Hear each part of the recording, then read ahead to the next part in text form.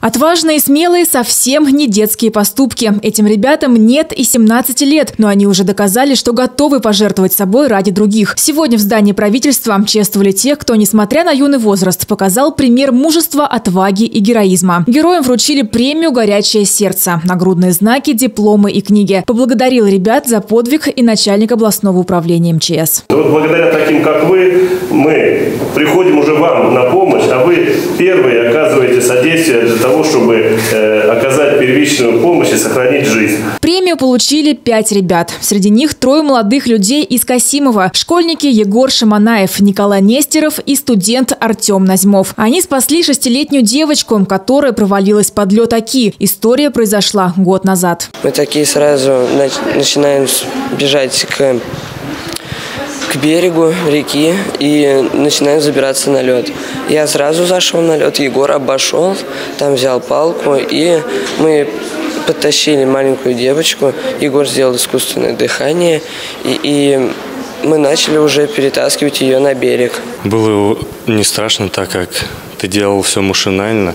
То есть мы делали как-то, как вот сердце подсказывало, ноги, руки сами все делали.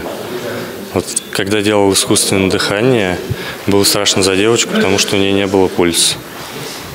И вот благодаря вот этому вот искусственному дыханию, которое мы сделали, она и выжила.